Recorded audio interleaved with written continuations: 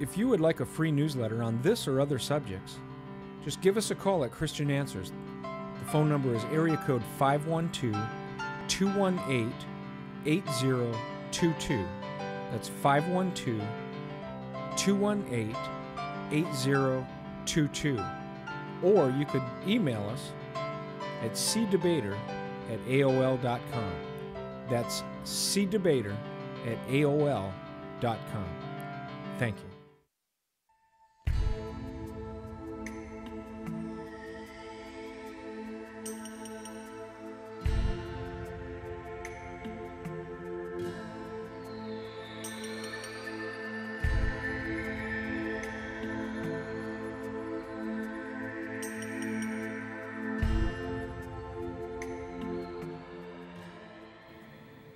And welcome once again to our program. I'm Larry Wessels, Director of Christian Answers, and I want to thank you for being with us today.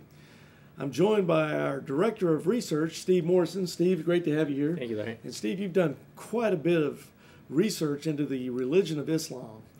Uh, so much research that we've done countless shows now. I'm losing count of all the shows we've done on Islam, uh, comparing the religion of Islam, the Muslim religion, with Christianity, and then also uh, exposing to the public many of the teachings, the little known teachings mm-hmm. of Islam from their authoritative sources, the Quran and their hadiths, which uh, particularly are held in revered fashion by the Sunni Muslims.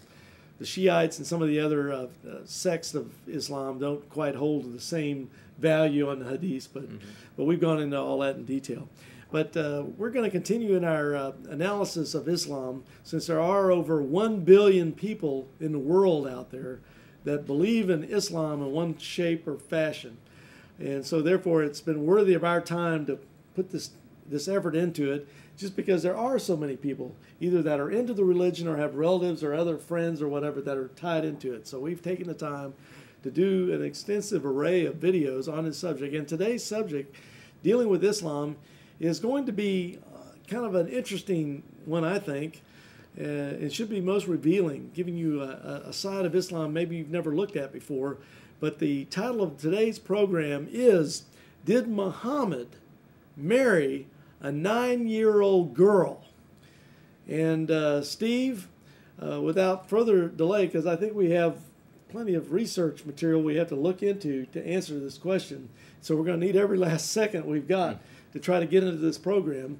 Uh, the question is Did Muhammad, the prophet of Islam, the one who supposedly got his revelations from the angel Gabriel, and that's how the Quran eventually got to us, and then you've got all these hadiths that ta- tell us about the prophet Muhammad, did, did the prophet of Islam, Allah's apostle, Muhammad, did he marry a nine year old girl?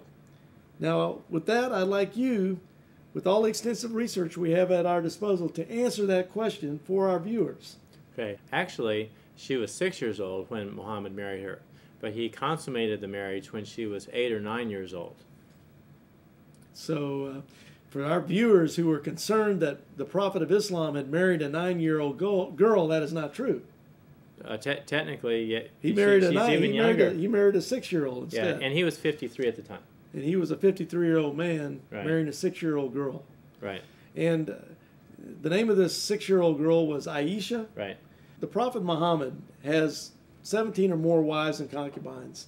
And of all these 17 wives or concubines or more, uh, would you say that Aisha, the six year old girl that he married when he was 53, uh, was she considered to be, as time went on, his favorite wife of all these wives? Uh, most definitely most definitely. So he liked this little girl who grew, got older as time went on, but she rated as his favorite wife. Right. She, she was actually younger than his daughter. Younger than his daughter. Yeah, Fatima, what it, what it was his daughter, and she was maybe 10 years younger than her. So, but he always considered Aisha, this young six year old girl who grew up, obviously, but to be his favorite. Right. She was about 19 when he died herself. Okay, so he was married to her for about 13 years then. Yeah. Okay. Now, with this set on the table, uh, the question in the title of the show is Did Muhammad marry a nine year old girl? We kind of answered that in, in, partial, but now we want to get into it in detail. So, with that, go ahead and establish the show, Steve, and, and get us going on this whole subject. Okay, so uh, most Muslims will agree, uh, most Muslim scholars at least will agree that, that Muhammad uh, consummated his marriage with Aisha when she was eight or nine years old. Uh, however, there are some Muslims who, many, some Muslims haven't heard of that, uh, and some Muslims will deny it. And uh, now, if we were to say that Muhammad had sex with a nine year old girl, that's a pretty serious charge to make against Muhammad. And we wouldn't expect you to believe it unless we had live documentation. So, we're going to provide the evidence that he did that. We're also going to show some of the objections that people who deny it bring up, and then we're going to answer uh, those objections. And then we're going to finally say, well, well what, what does this all, all mean about Islam? Uh, but, uh, but before we get into that, we want to establish why this is relevant in our world today. Because there's a very important uh, practice that's often overlooked, especially in the West, and that is the, the, the child brides in Muslim lands due to Muhammad's example. Uh, in uh, in uh, Iran, as of June 2002, it's illegal for a nine-year-old girl to marry. She has to have her parents' permission, but she can do that. This is according to Voices Behind the Veil, page 136 and 137. In the Ivory Coast, the same book also tells of a 12 year old girl who would leave the house for hours before returning home, and her father didn't like that. And at various times, her father tied her up, burned her back with a piece of iron, locked her up for three days with no food, and he eventually married her to a 40 year man. he never sent her to school because he said it would uh, school would drive them from tradition and they start asking questions and they would not want to marry until they're 19 or 20. The Taliban encouraged families to marry off their daughters as young as eight years old, according to Voices Behind the Veil, page 110. Very sadly, the Dallas Morning News in 92803, page uh, 1 and 10s, had a, had a very sad story about the plight of Muslim Nigerian girls who were married very young and they got pregnant and had labor before their small bodies were ready. It was actually kind of a gross story uh, because it basically many girls who needed C-sections didn't get a C-section and they were not able to have children for the rest of their life. So, to understand the authority of nature and the example of Muhammad, we have to understand something of the Muslim hadiths.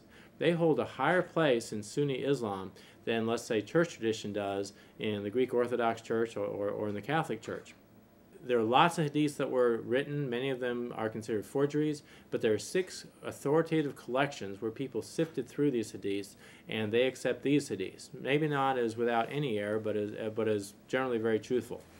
And um, so we're going to quote from these six hadiths, plus we'll have a few quotes from uh, uh, early Muslim historians, uh, Ibn Ishaq and al-Tabari. So starting off with the highest hadith, uh, Sahih al-Bukhari, uh, and al-Bukhari collected these, and he lived about uh, 810 to 870 AD, uh, which he died about 256 years, you know, after Muhammad started his migration, you know, um, to Medina. And anyway, the first quote is narrated Hisham's father. Khadija died three years before the, the Prophet departed to Medina. He stayed there for two years or so, and then he married Aisha when she was a girl of six years of age, and he consummated that marriage when she was nine years old. This is according to Bukhari, uh, Volume 5, uh, 236, page 153. The same points, I won't repeat it, are in Bukhari 5, 234, page 152. A third uh, reference is narrated Urwa. The Prophet wrote the marriage contract with Aisha while she was six years old and consummated his marriage with her while she was nine years old, and she remained with him for nine years, i.e., till his death. Bukhari 7, uh, 88, page 65. So actually, from the time that he consummated the marriage, he lived about nine more years, and so he actually was it was like you know 12 years when they got married. Okay, and so uh, the next one is narrated Aisha. The Prophet was screening me with his rida, that's a garment covering the upper part of the body, while I was looking at the Ethiopians who were playing in the courtyard of the mosque. I continued watching till I was satisfied. So you may deduce from this event how a little girl, who has not yet reached the age of puberty, who is eager to enjoy amusement, should be treated in this respect. This is in Bukhari 7, uh, 163. So this is like uh, after, just prior or right at the marriage uh, with, with Muhammad. Okay, but uh, besides looking at, at, this, you can actually look at the Bukhari Hadith online um, at uh, the, the website www.cwis.usc.edu slash DEPT slash MSA slash fundamentals slash Hadith Sunnah slash Bukhari. And, but or you can get the, the paper copy of Bukhari, the nine volumes you can see in the light volumes behind me. Uh, those are in both Arabic and English. Sahih Muslim uh, was compiled by uh, Imam Muslim from 817 to 875 AD, and he died at 261 uh, after Hijrah. And this is considered the second most reliable of the hadiths.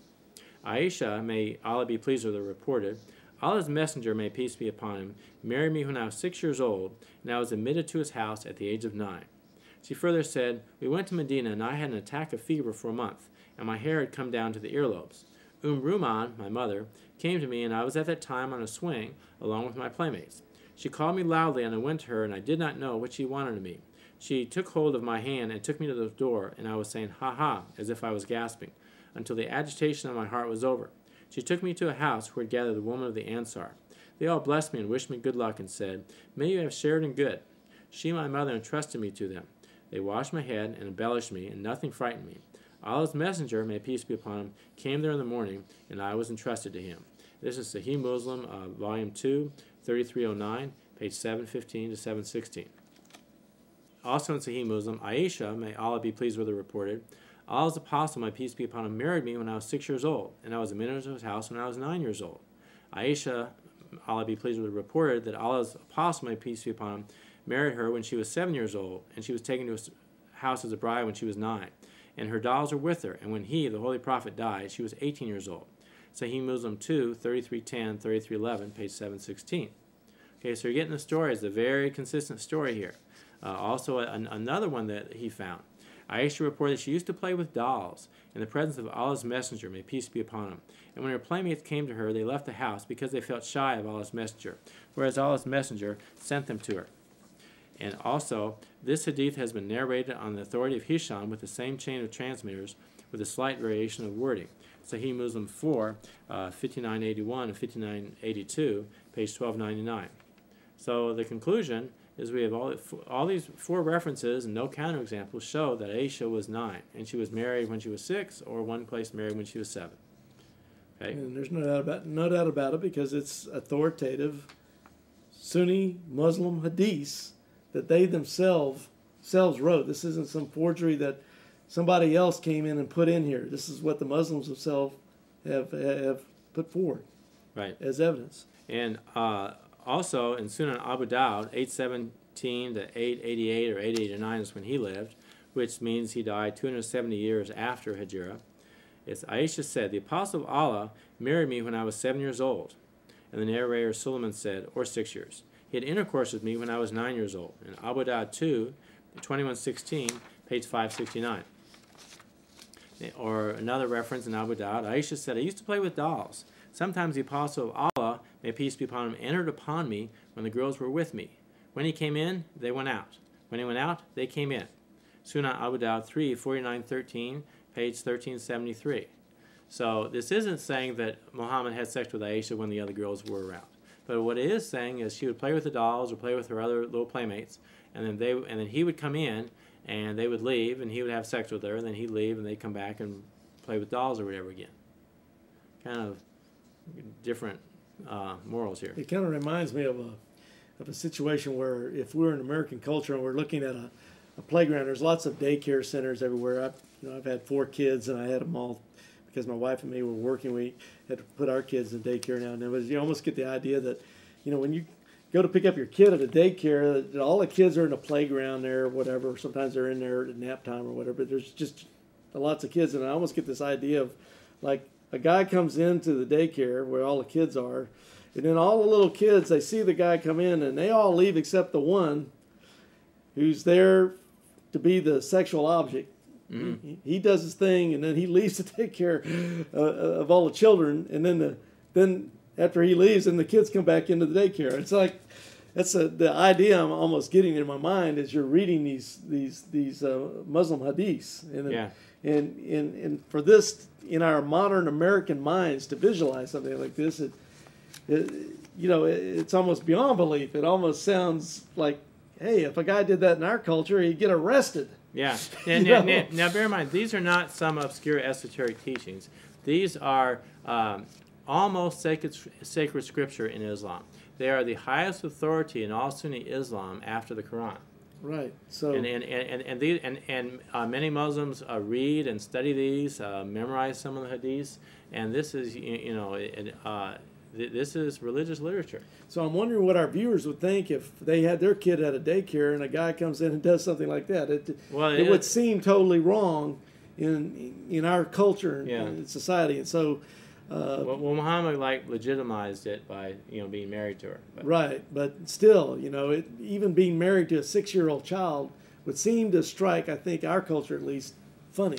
But anyway, let's go on Yeah. with this. Okay, so so so another one, and there are going to be some Muslim objections to this, so that's why we want to go in such detail on the documentation on this. Aisha said, "The apostle of Allah, may peace be upon him, married me when I was seven or six. When we came to Medina, some women came, according to Bishr's version. Umm Ruman came to me when I was swinging. They took me, made me, uh, prepared, and decorated me.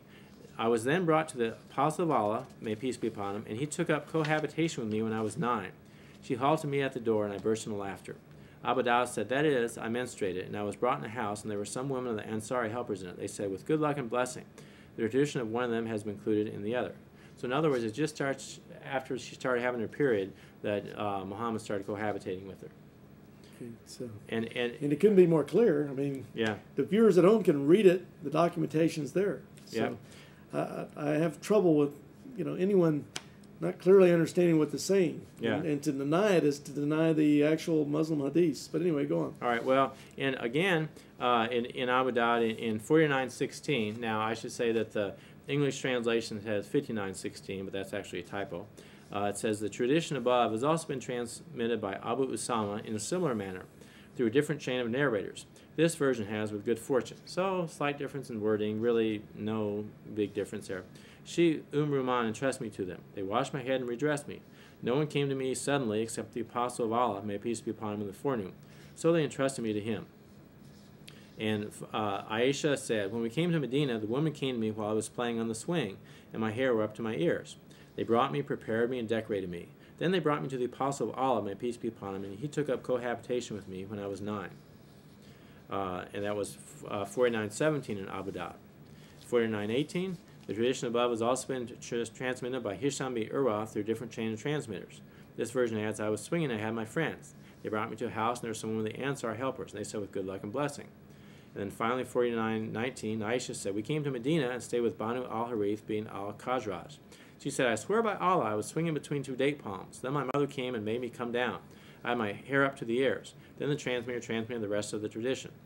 And so you can see all these on page 1374 in Abu Dawud. So there are all these references. You know, Abu Dawud's pretty clear.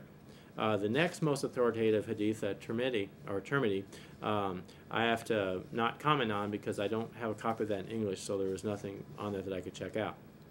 The next one after that, Sunan Nasai, who lived uh, 830 to 915 AD, and that means 215 to 303 AH, you know, after Hijrah, is then Hadrat. Hadrat uh, roughly means like holy, uh, a term for the companions of, of, of Muhammad. Then Hadrat Aisha passed nine years of married life. The, the Holy Prophet Muhammad, peace and blessing of, of Allah be upon him, fell in mortal sickness. On the 9th or 12th, the Rab al Awal, 11 AH, he left this mortal world, and dot, dot, dot. Hadrat Aisha was 18 years of age at the time when the Holy Prophet Muhammad, peace and blessings of Allah be upon him, passed away, and she remained a widow for 48 years till she died at the age of 67. Sunan Nasai 1, number 18, page 108. Uh, so if she was 18 when he died, and she was married to him for, for nine years, then she consummated the marriage when she was nine. Okay? So the conclusion, you know, it's, it's the same as everything else. Ibn Majah, the last one on the hadith, uh, has a couple of things. Aisha was married when she was six years old and nine when she went to Muhammad's house, uh, is a paraphrase of Ibn Majah 3, 1876, page 133. Aisha was married at seven, went to Muhammad's house at nine, was 18 when Muhammad died. Okay, now the other verse said 19, so maybe off by a year. That's easy to do. And according to Al Zawaid, its isnad is sahih, according to the condition of Bukhari. However, Abu Ubaidah did not hear from his father, so does Munkada. Munkada means it's a tradition that would be sound, but it has a gap in it. That's in Ibn Majah 3, 1877, page 134. Okay, so let's leave the hadith now and look at some, what the earliest, uh, some of the earliest Muslim historians said. Ibn Ishaq was earlier than most of these hadiths. He died either 767 or 773 AD, we're not sure, which is 145 or 151 AH. And he said that Yahya is roughly equivalent to John, by the way. Yahya bin Abad bin Abdullah bin al Zabir, from his father, told me that he heard Aisha say, The apostle died in my bosom during my term. I had wronged none in regard to him. It was due to my ignorance and extreme youth that the apostle died in my arms. This is from Alfred Guillaume, the, the Life of Muhammad, uh, which is a translation of Ibn Ishaq's Sirat Rasul Allah. You notice that Aisha said she was an extreme youth when Muhammad died. Okay, so now let's look at Al-Tabari. And uh, Aisha was six or seven, that's in Al-Tabari, years old when she was married, and the marriage was consummated when she was nine years old. This is Al-Tabari, volume 9, uh, page 129 and 131. Uh, Muhammad bin Amir is one of the transmitters on that. Aisha was six or seven when married, and came the marriage was consummated when she was 9 to ten, three months after coming to Mecca. This is Al-Tabari, volume 7, page 7. And the chain of transmission includes an unnamed man from the Quraysh. So if the chain of transmission includes somebody that they don't have a name of, then that kind of weakens it. Okay, on the other hand, and here is a counterexample that contradicts the other things Tabari says. Al-Tabari also wrote uh, that all four of his, meaning Abu Bakr's children, were born of his two wives, the names of whom we have already mentioned during the pre-Islamic period. Okay, and this is Al-Tabari, volume 4, page 50, and uh, this uh, was taken from a, a, Muslim brought this up in, in Arabic. And so Al, a footnote says that Al-Tabari does have a conflict here. So if Abu Bakr was one of the first converts to Islam, but if Aisha was born prior to that, then that would sort of make her a teenager instead of 9 or 10. Mm-hmm. On the other hand, there's something contradicting this in Bukhari, which is considered more reliable than Al Tabari. And in, in Bukhari, it says, narrated Aisha, the wife of the Prophet, I never remembered my parents believing in any religion other than the true religion, i.e., Islam. And I don't remember a single day passing without our being visited by Allah's apostle in the morning and in the evening. That's Bukhari 5, 245, page 158. Thus, Aisha was either not very old or not born yet when her parents became Muslims. So this is inconsistent. Uh, Al-Tabari's last quote is inconsistent with Al-Tabari's other quotes, inconsistent with Bukhari, and inconsistent with everything else. Okay. So anyway, what do Muslims say about this? Well, there are, are two basic uh, answers. One answer is yes, uh, it's okay to have sex with a nine-year-old because uh, Muhammad did. And there are uh, a couple of websites that, that we ha have up that you can read at and uh, in corresponding to one Muslim uh, woman she said yeah and I bet Aisha was the happiest nine-year-old around. So they they accept that. And they, and in Muslim countries today they follow Muhammad's example. Okay there is another minority Muslim viewpoint most Muslim scholars hold the majority viewpoint but the minority viewpoint says that this did not happen Okay, so let's look at the reasons for saying this, um, that, and, and then we'll come to our own conclusions. Okay, the first reason is there are doubts on three of the transmitters. In particular, an unnamed man of the Quraysh in Al-Tabari, volume 7, page 7, that's kind of a weak reference. Also, Hisham bin Urwa is a transmitter of those references, and if he were mistaken, then all the people who accurately quoted him would have wrong information. All right, furthermore, uh, Muzanul I Tidal, sorry if I mess up the pronunciation, it's called it's a book on the life of the narrator's tradition of the prophet, reports that when he was old, Hisham's memory suffered quite badly. And Tezabul Tezib is one of the most well-known books on the life and reliability of the narrators of the traditions of the prophets, and he re reports that according to Yaqub, Yaqub kind of corresponds to Jacob, by the way, Yaqub bin Shabai, narratives reported by Hisham are reliable, except those that are reported through the people of Iraq. It further states that Malik bin Anas objected on those narratives of Hisham which were reported on the people of Iraq. That's volume 11, page 48 to 51. A third transmitter, Muhammad bin Amr, is called weak by Ibn Abu Hatim in Al Jarrah wal Al Tadil, uh, where he asked Yahya about him, and Yahya replied, He's not among those whom you desire to report from. Abu Hatim asked Malik and got a similar response. And Abu Hatim also says, Yahya bin Mu'in says, people refrain from accepting his narr narratives. Also, al-Dahabi uh, says that Muhammad bin Amir is not strong, meaning not reliable. And Ukalai also said Muhammad bin Amir was weak. So with references becoming weak, what does that mean? Well, you can see in the PowerPoint there's kind of a scorecard where I've, I've, marked off as weak references all the references by uh, either the unnamed Quraysh or Muhammad bin Amir or Hisham.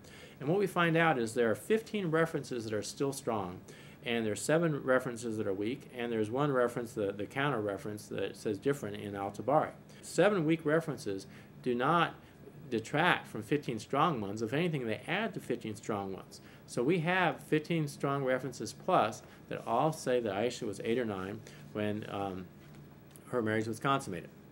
Okay, so let's look at second objection. There are no other narrators from Medina.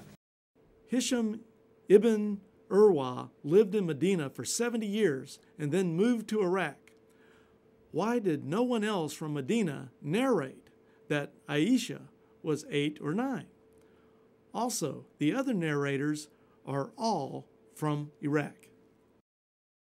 The response to this Muslim objection number two is this is an argument from silence. Many people did not report anything about Aisha's age of her consummated marriage. Also, Iraq would be a good source because both Aisha and many companions moved to Iraq by Uthman's time. Of course, we can assume Aisha remembered when she got married and told others. Well, Aisha, after Muhammad died, she moved to Iraq. And after she led a, a, a, violent rebellion against Ali and was defeated, she had to go back to Mecca. So if there weren't many narrators from Medina, that's sort of understandable. Okay, um, and if the other narrators, if some of them are from Iraq, that would actually be a, a positive point because she lived in Iraq.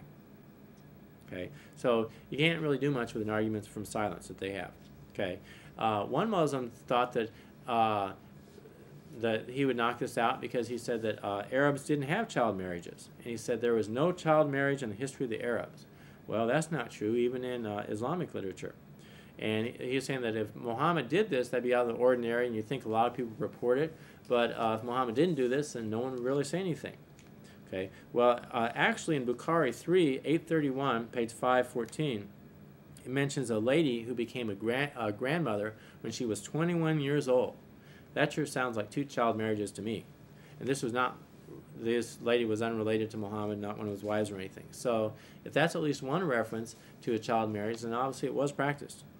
Finally, since no one objected to the reporting of this young marriage, even the majority of Muslim scholars hold that it did happen. Objection 4 is that Aisha said that she was a young girl when Surah 5446, which is an Al Kamar uh, and its topics on the splitting of the moon, was written. Okay, well, and one Muslim says, well, it was written nine years before Hijrah, which means that, that she would have been, um, you know, maybe a teenager when she married Muhammad. Well, one problem is that she said the word young girl is, is, is Jariya. And Jariya can mean young girl, it can mean a teenager, but it does not preclude use of somebody younger than a teenager. So it can mean teen or preteen, okay? And that, you know, if you said it meant only teen, that contradict the, this one place would contradict many places where it said she only played, she played with dolls when she was married to Muhammad. Furthermore, it's possible if this is one isolated surah that it could have been the wrong surah, but I think that the real answer is that we don't know when Surah 5446 was written. Um, for example, both Ibn Hajar and Madid said uh, Surah 5446 was written five years before Hijrah, not nine years before. So if Muslims themselves, if two Muslims say it was written five years before, one says it was written nine years before, you can't use nine years before as your solitary proof that Aisha wasn't really, um, you, you know, was older than that. Okay. Another objection Muslims have thought up is Aisha was at two battles, the Battle of Badr and the Battle of Uhud and uh, she was there to you know tend to the wounded and stuff. And it's also clear that um, that no boy below the age of 15 was allowed to, to, to fight in those battles. Well, that's pretty easy answer. Aisha wasn't a boy. Aisha didn't fight in the battle. And any girl, uh, a girl was considered an, an, adult when she reached puberty, which Aisha had, and so she was there, you know, tending to the wounded, you know, giving them water, helping with the wounds. So, you know, she wasn't a boy fighting. So that's not, you know, that's kind of grasping at straws there. Okay. Finally, one a little bit more substantive is that Aisha's sister Asma was 10 years older than her, and she died when she was 100 in 73 AH. Okay, and uh, two books uh, uh, say this. Um, and so, if that was true, and if you do the math, um, that that, uh, that would make Aisha about 16 or 17, not 8 or 9. Okay. Well, the thing is, though, with a lot of older people, uh, when after they die, people may not remember the exact year that of how old they were, and so you know this kind of contradicts the many things to talk about her age and playing with dolls. So this is a bit of contradictory evidence, but um, you know it, it's like it's easy for somebody to be mistaken on this. Muhammad didn't say this. His companions didn't say this. It's people who were with Aisha's older sister said she was 100 when she died. Okay. Other objection we brought up, Abu Bakr said, um, uh, Al-Tabari said that Abu Bakr had four children, including Aisha, in the pre-Islamic period. Okay, well, Al-Tabari also said that Aisha was eight or nine when the marriage was consummated, and he didn't give an age of Aisha uh, before then. So he's contradicting himself here, and probably the th- the three strains of Al-Tabari that, that agree with everybody else are probably more likely to be correct than this one instance. Okay. Aisha accepted Islam uh, before Umar bin Khattab, according to Ibn Hisham. This is a different Hisham than we talked about before, by the way. Ibn Hisham in Sirah al uh, Nabawiyah. This is volume 1, page 227, and, uh, and, and on.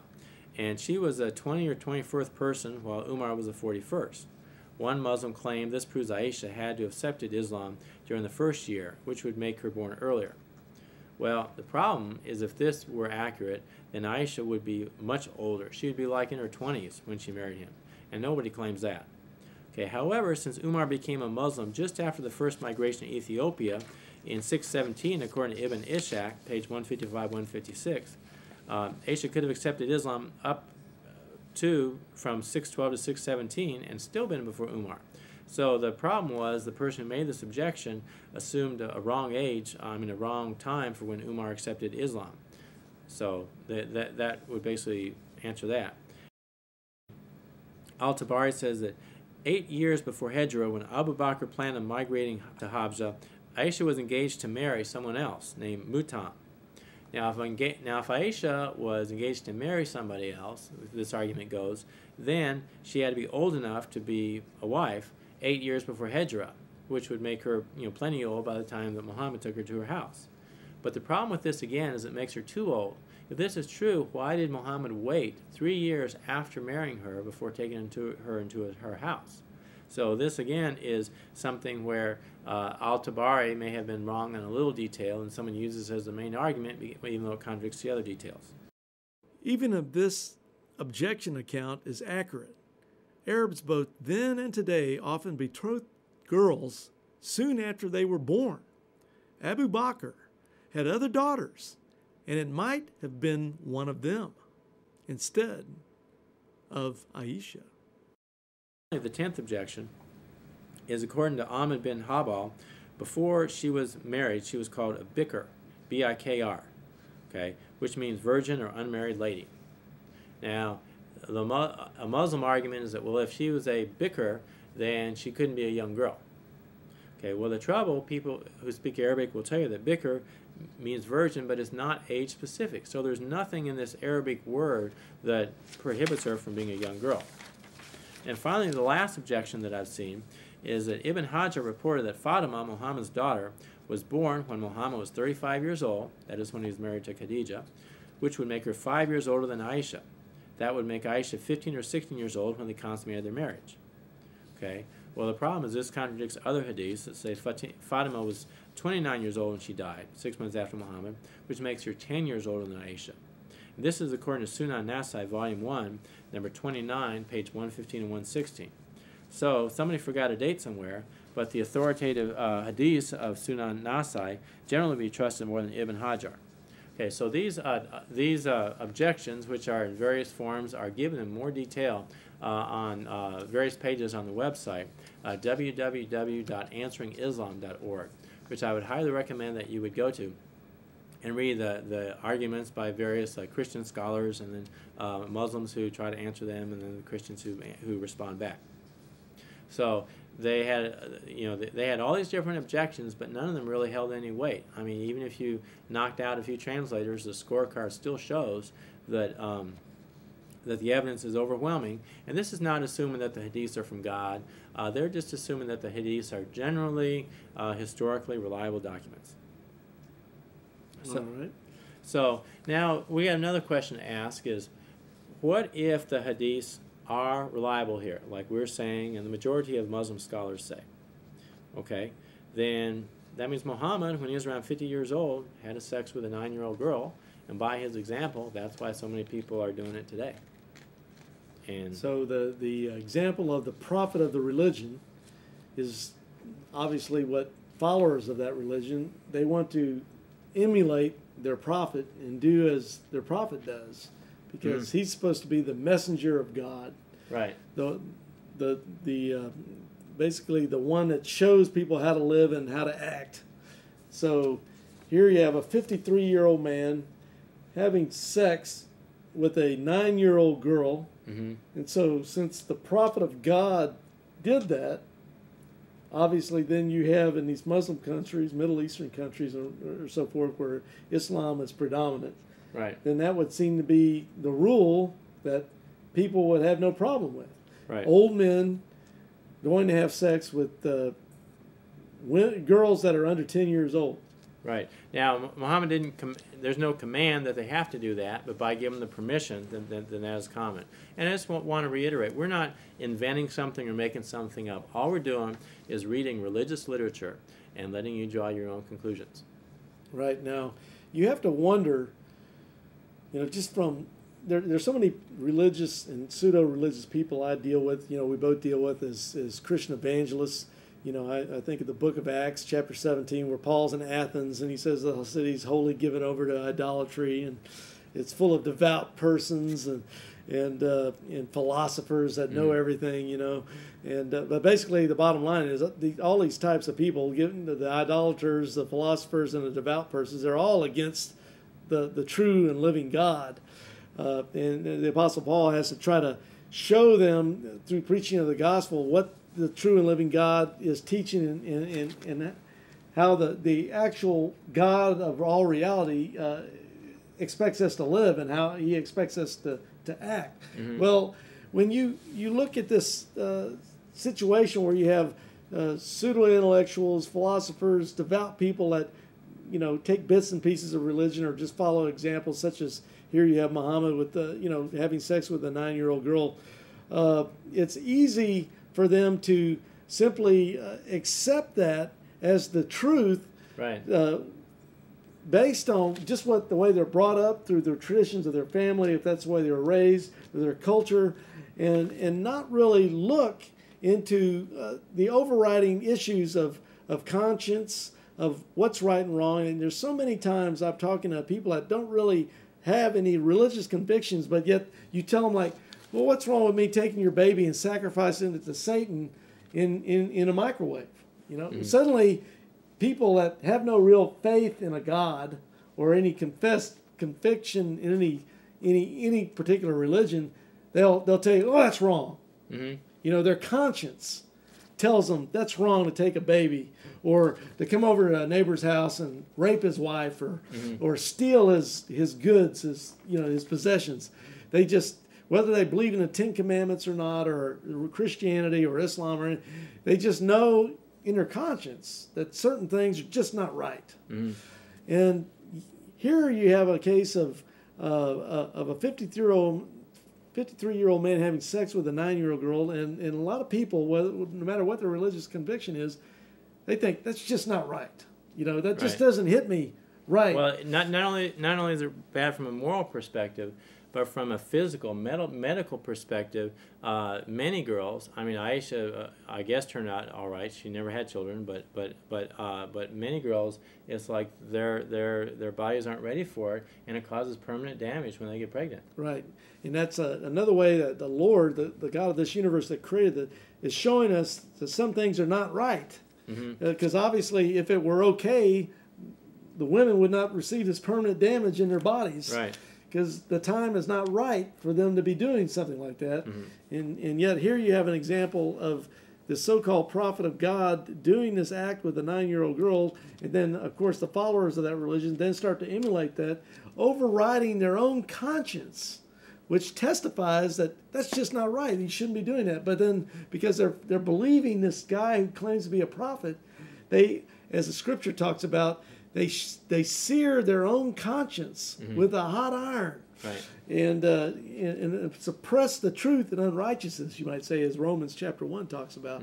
Uh, so we have this this key example here of what's going on in, in, in, in Islam. So, as our viewers out there, as we talk about a 53 year old man having sex with a child, a nine year old in this case, most people, whether they have any religious knowledge or not, are going to say that's not right. You know? Yeah. yeah. Now, Larry, what you're saying about searing their conscience and accepting anything that, that people say Muhammad did, that's true for probably most Muslims. But I also need to point out that there is a, a significant minority of Muslims who would say, no way who would say this is wrong, but Muhammad didn't do it. And many of these would be the westernized Muslims, many of which right. who, who, live in the United States. And so you can't say that Islam is one monolithic belief with everyone believing the same. There are many people who would deny this, and their basic den- and, and, and if these 11 objections don't work, um, then I've had Muslims tell me that the hadiths are garbage or no more than 10% of what the hadith say it, it is true. And so there are liberal Muslims like this who, who deny it. And we've talked on, in this video mainly about the conservative Muslims. Right. But, but, but let's talk some about the liberal Muslims who say, uh, you know, maybe this is another objection to say, well, just throw out all the hadiths, or at least mo- most of the hadiths. So, what if Muhammad didn't do this after, after all? What if the modernist Muslims are right? Then I got four questions for them. First of all, what does Sunni mean? if not that Muslims, eh, the Muslim tradition of the Hadith. You know, what is a Sunni Muslim?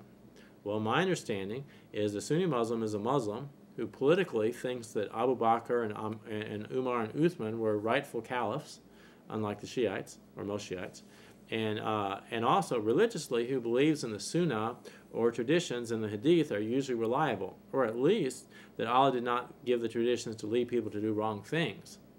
Okay, so if you reject all the hadiths, um, by any definition of sunnah, you're not a Sunni Muslim. Okay, next question. Why, in your opinion, would Allah let the hadiths warp Islamic society for over 1,200 years? Okay, considering what we've already said about the prevalence of child brides and the problem of that today in Nigeria and, in, in many other Muslim places, um, and the medical horrors of that, um, why would Allah let that go on? They they justify that based upon, you know, based upon Muhammad. Now you would, if you're a liberal Muslim, you would say, well, that wasn't the real Muhammad. Okay, well, it's at least it's the Muhammad of the Hadiths, and they justify it. Why would Allah let people follow the follow be misled by the Muhammad of the Hadiths? And you know, if they're giving support to this practice.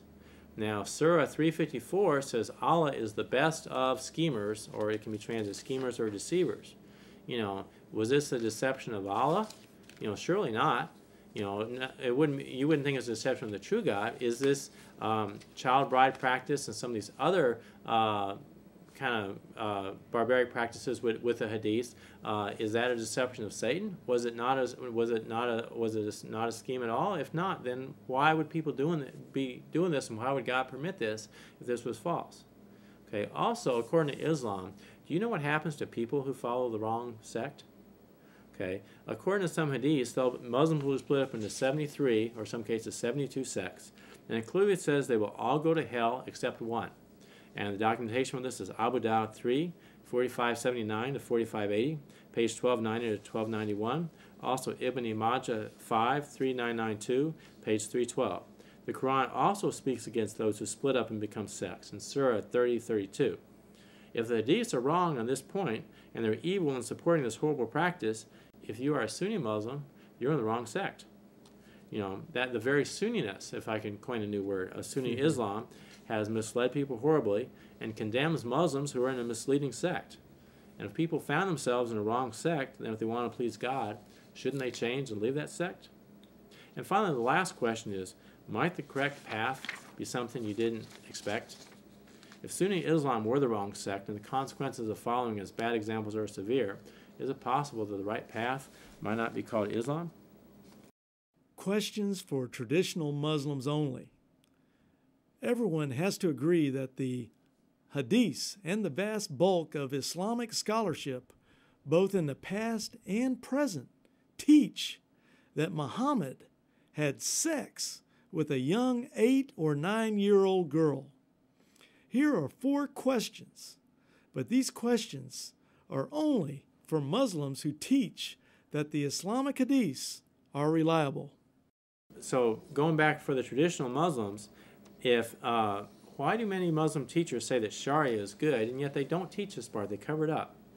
And also, if you say that Muhammad is sinless, does that mean that Muhammad really never did anything wrong, or does that mean that anything Muhammad did you will define as, as, not being wrong? Is there anything that Muhammad could have done, rape or, or, or sexual slave girls or anything else, that you would say was wrong even if Muhammad did it? And also, why do you think that so many westernized Muslims and, and modern Muslims, they don't follow the teaching of hadith? Do they maybe see something that maybe you don't? And also, if, if you're a conservative Muslim who tells people they need to follow hadith, and you have still or moving pictures of people in your home, including TV set, or you wear clothes and they're yellow on a man, or if you um, have you read what the things in the Quran and Hadith say about hypocrites? For example, uh, for banning all pictures, uh, Bukhari 3, 318, page 180, uh, 447, 450, and a whole bunch of other uh, references all show that you can't have pictures in your house. And that includes still pictures like photographs, includes moving pictures. And then the footnotes, uh, such as in Abu Dawud on page 1373, you know, clearly say that that, that means that too. So the conclusion is, if, if for, for a Muslim, if he wants to pay attention to a traditionalist, don't do so unless you find a consistent traditionalist. But if you cannot find a consistent traditionalist, then, well, maybe you shouldn't be following that. If you are a Sunni Muslim and you do not follow or believe all of the Islamic laws found in the Hadith, then you are not really a Sunni Muslim and are condemned to hell as being part of a false Islamic sect. In effect, you have deceived yourself, and Allah will judge you on the last day. And then again, for uh, Muslims who are maybe claiming to be Sunni, but they aren't really Sunni because they don't follow the traditions, again, you know, if you're not a Sunni, you know, you should at least say you're not a Sunni. And how do you handle Allah deceiving his followers, or at least allow them to be deceived by this evil, what you believe to be an evil being this, the, or an evil fiction, this Muhammad of the Hadith for centuries. And what, is, what does Islam say about the wrong sect? And is it correct way something you might have overlooked? Okay, so you should. The alternative is you need to leave bad tradition. It's not enough to believe the right stuff. You also have to uh, not believe the, the, the, the really wrong stuff. Don't place your love and your loyalty with any tradition. Seek only God. Even Muslims have respect for the Torah and the Bible, though few have read them. Why not read the Gospels and, and, and see how different the teaching of Jesus is? And we'd invite you to do so and to contact us, and we'd be happy to answer any questions that you have. That's right. And, uh, you know, we still have uh, probably about eight or nine minutes left in the show, and, and uh, you know, with all this information and the questions to ask of our, our, our viewers, particularly the Muslim viewers, they have a question to ask themselves besides all these questions you asked, which are perfectly valid, is uh, the question of whether you say Muhammad did have sex with a nine year old girl or he didn't have sex with a nine year old girl. It, you've got the problem of, well, if he didn't, then you've got to deny the hadith. And if you deny the hadith, then it goes back in all those questions you're asking, and then you've got problems that way. And at the same time, uh, are you in the right sect? Uh, if, if you're denying the hadith, then that means you must be in a different sect of Islam.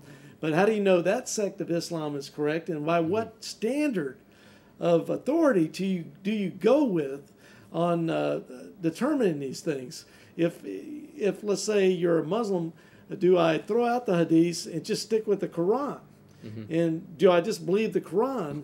But then in Islamic countries, how do you uh, establish a cultural law without the hadiths. How do you, uh, how do you use conservative just... Muslims have, have said in writing that I've read that basically you cannot, without the hadiths, to interpret the Quran and say, well, when was this written? What does this mean? So, so if you're just a, a, uh, a, a Muslim that wants to just stick to the Quran only, let's look at it this way, and you're going to say, okay, I don't want anything to do with this 53, 53 year old man having sex with a little nine year old girl and marrying her when she's 6 mm-hmm. Like all he said, he said, I don't want anything to do with that. And she said some people accept it gladly in Islam, but probably a lot of the ones you're talking about wouldn't. Uh, so what I want to do is just stick with the Quran and just go with what the Quran says and leave out the hadiths. Now, how, as a Muslim, uh, trying to follow just the Quran, are you going to be able to live your life and do the things while you exclude all the hadiths? Well, it, it, well, one problem with excluding the hadiths is you is, is not that they had a few little mistakes, but you're saying that the whole thing is is so unreliable. Basically, it's like all of the early Muslims were liars or or, or, or made up or or, or right. Because the minute stories. you say that, you're now destroying the credibility of all the the, the so-called, as you say, writers and witnesses to Muhammad that supposedly said all these testimonies right, right, about. Right, right. and then Muhammad changes from being a historically documented guy to this man of history, almost like you know, did you know did he almost really even live? Because you have no um, reputable uh, uh, uh, record of anything he did beside the Quran. If that is, if you throw out everything in history about him. Now, as a as a Muslim trying to just stick to the Quran only and nothing else, how then is he going to uh, uh, follow uh, the the rules of the Quran? Without all these other things because there's so many things in the Quran that are not explained. Uh, you'd have to have the hadiths to even help you understand some of the well, things. Well, the well, well, well, not only that, but there are many things in the Quran that are abrogated meaning an earlier one, like the, some verses of the Quran are, are fairly peaceful about coexisting with Christians and Jews. Right. Then you and, have Surah nine. It, right, right, and and now the trouble is, is that the later thing abrogates the earlier part, and Surah nine is one of the last surahs that was written in the Quran, and it's the most warlike with all the what are called sword verses. Okay, just as an example, uh, Surah nine talks about what killing uh, killing the pagans or slaying them wherever you find them. Right. Uh, all these warlike uh, references and this is probably one of the uh, uh, the great uh, in, the energizers, you might say, of terrorists. Yeah. The, they use like Surah 9 out of the Quran to motivate them to go out and be suicide bombers and, and you know, attack anything that they consider to be non Islamic mm-hmm. and things like this and declaring jihads and holy wars so they can go to heaven and have these 70 women uh, you know, in, in, sex in paradise and all this type of stuff. Whoa, whoa, whoa, wait. The, the 70 women, 70, 73, see, that's all hadith thing. Ah, so here again, the, Quran doesn't even explain that. It, it, it, it mentions uh, maidens in heaven that they'll have. Doesn't give any number, though. Doesn't say any details. Ah, so, uh, so, so you got to sort of like follow the hadith fill in a, the blank. Yeah, you got to follow something of hadith to be a suicide bomber. So a Muslim is trying to say, well, you know, these hadiths, they're just too unreliable. They're just showing me too many terrible things, like how it's all right to strip women, mm-hmm. uh, have sex with women, uh, take a married woman and have sex with her, even though her husband's, you know, if she's she, still if married. She, if she's a captive, right? Right, a captive, and all these things we've documented in other shows, uh, and they just don't want any of that. Doesn't it really come down to a Muslim having to take the Quran by itself and just have faith in this book and try to eliminate out of their minds all all this other information that's the, out all, there. All the contrary, you know, don't confuse with facts. Right, and and then then you've got the problem with the Quran itself, with having contradictions within itself. Right. Contradictions with the Bible on all fronts. Right. You know, the, the Quran sun going down in a muddy spring. Right, right. The the Quran saying that Jesus is not the Son of God, say not that Allah has a son. Right. Uh, you know, denying that uh, the Trinity, for instance, in the in, in the Scripture, denying all types of uh, biblical doctrine that were there hundreds of years before the Quran even came to existence. And the very uh, formation of the Quran is itself suspect, just like the Hadiths are. Yeah, well, one thing that would clear up a lot of things about the variants in the Quran is that uh, Hafsa, one of the wives of Muhammad, uh, according, uh, I read it from the book, the Bible, the, the Quran and the Bible in the light of yeah, history and science. She uh, was she could read and write, and she kept a copy of the Quran. Okay, and so being wife of Muhammad, she probably had a pretty good copy there. Uh-huh. Anyway, after the, the, the Quran was standardized, uh, uh, Uthman demanded her copy of the Quran, and she didn't give it. But but after him, uh, her copy was was uh, confiscated, and her copy was burned. Right. So, now, uh, give a reference to this book real quick for okay. viewers. The, the, uh, uh, I've read a, a number of, of uh, I've read a number of books uh, by Christians on, on the Quran and, and, and, problems with it and problems with Islam. This is one of the better ones I've read by Dr. William Campbell. Uh, he's uh, he's a Christian who speaks Arabic. He's been in Arab lands. Um, he uh, is a, also a medical doctor, and he writes on some of the bogus medical claims in, in the Quran, as well as variants in it, as, as well as what other books do too. Well, you know, the contradictions in the Quran and things like that. But he has a very readable style because you know he writes as someone who's talked for decades with Muslims um, and you know, and, and, and, what they would understand and how we have to break through their misunderstanding of stuff. Right. So it, it documents a lot of uh, problems within the Quran itself, scientifically, uh, and, and, other facts. And so uh, books like this, and there's many other good references as well. But mm. see, a person who wants to just stick with the Quran then suddenly has to deal with other problems that relate with the problems of the Hadith. Right. So suddenly, uh, just the formation of the Quran starts to have a, sinister patterns in relationships to the way the hadiths were formed. Yeah, and, and, well, it's not just the formation of the Quran, but we could call it maybe the reformation or standardization right, under right. Uthman, when, and, when surahs were left out, added. Exactly, uh, the abrogation of uh, things. Or well, well anyway. no, no, no, abrogation. It's still there, but it's not followed. Uh, surahs are left out. Sahih Muslim documents this, and you can read this on our website, www.muslimhope.com uh, all documented from the Hadith. That's right. Now, Steve, we've got less than a minute to go here, and so I'm going to have to sign off for now. But uh, for our viewers out there, we have we have uh, free literature on this subject. We have you know newsletters, tracks, information. We have a, a big resource list of all our videos and audio cassettes, CDs, uh, things of that nature. Uh, so please contact our ministry with the phone number, our, our email address, our written uh, address at the end. Uh, we're more than glad to help you with these things. Uh, the, the, Bible, though, stands uh, has verifiable archaeological evidence, uh, uh, 2,000 fulfilled prophecies showing its supernatural nature, the gospel of Jesus Christ, which is diametrically opposed to all this. Everything's consistent. Dead Sea Scrolls verify it. It's amazing the contrast between the Quran, the Hadith, and the Word of God, the Bible. Remember, Jesus says, he is the way, the truth, and the life. No man comes to the Father except by him. So it's Christ you should put your trust in, the Word of God, which is far vastly superior to a man who had sex with a nine year old girl. So with that, I'm Larry Wessels, Director of Christian Answers, with our Director of Research, Steve Morrison. Great to have you here. Hey. Contact us if you need more information. God bless you all. Turn back from the innovations of Muhammad uh, and the Hadiths and to what God really said in the Bible. God did not fool all his followers with false teaching for centuries. Jesus' death was not a defeat, but the means by which Jesus uh, went forth in battle and defeated Satan in his own realm. After Jesus conquered, Jesus was physically raised from the dead as a sign of God. You can no longer ignore Jesus' words. He taught that he was no mere prophet. There is only one God, but Jesus is a distinct part of the inseparable God. Call on Jesus as your Lord, worship him as the apostles and his other followers did, and accept his forgiveness for sins.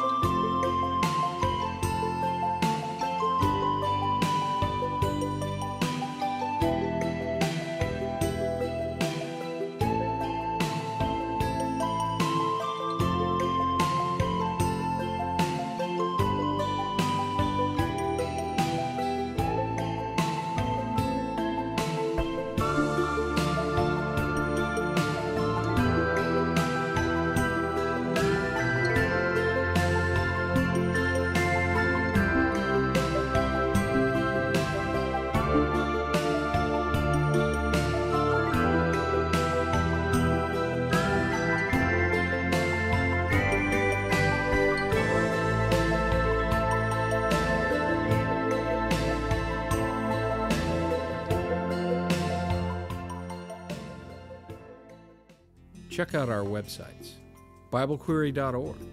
This site answers 7,700 Bible questions. HistoryCart.com.